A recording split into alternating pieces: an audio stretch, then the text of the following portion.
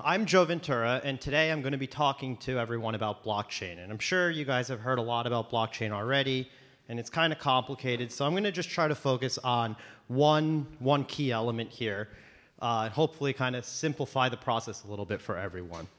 So I'm the founder and CEO. I started AlphaPoint about three years ago because well, I've been in uh, fintech for over 15 years, building a lot of systems, and we kind of had this recurring problem over and over, and it's that we all build our own systems with our own essentially siloed databases, and we have these great standardized protocols to communicate with each other. So imagine here we have three different organizations. Another way to look at it could be three departments within an organization if your organization happens to be large enough to have a suite of applications and a whole set of databases as well.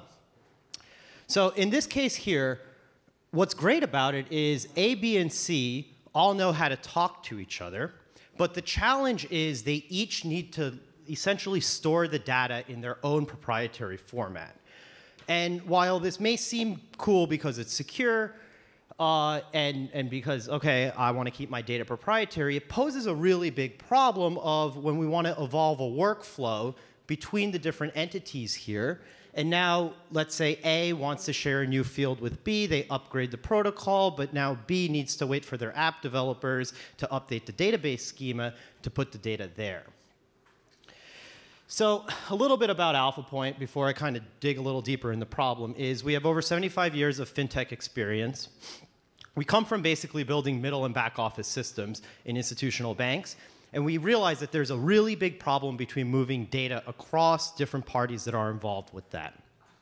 Our focus right now is building blockchain databases that are permissioned in a way where institutions can secure their own piece of a data in a larger, more collaborative database allowing other participants into it.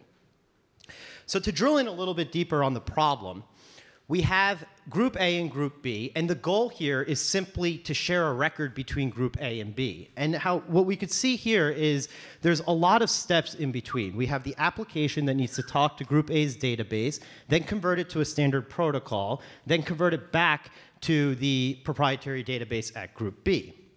But what if we can switch it a little bit and as part of our standards that we agree upon, and we do so well and we leverage it so much in business, is we actually move the storage, the, storage responsibility into the standard. And now what we can do is share the workload of developing the database application. One entity can, for instance, easily develop it, and then a new participant can come in, and they don't have to replicate that work increasing the amount of business that you can do with new, new participants, lowering the barrier of entry for others to consume your new service, whether it's a financial service, transactional service, or something like a supply chain management.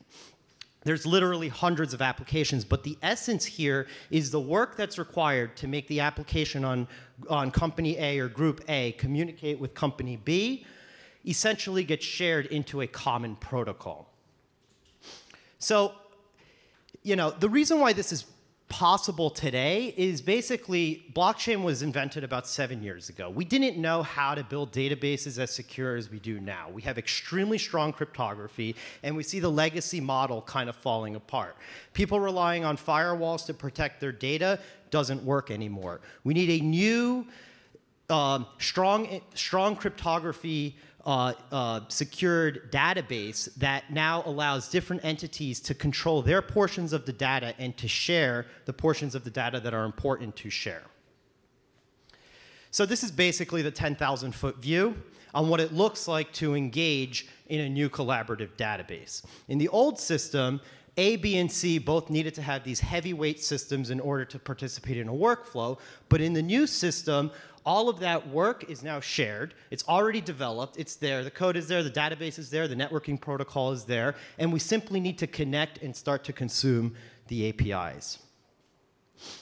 So the main benefits here are we have a single truth. So there's no dispute on company A thinks the data is something and company B thinks the data is something else. There's also no single owner. We're all owners of the database. We can all own our own private data and we could all explicitly share data with others with high confidence that that data is actually being shared. And there's huge operational savings to be found because, uh, because basically we're reusing the work amongst multiple companies. So that's all, guys. Thank you. And if there's any more questions on how collaborative databases can help your institution, please find us at alphapoint.com. Thank you.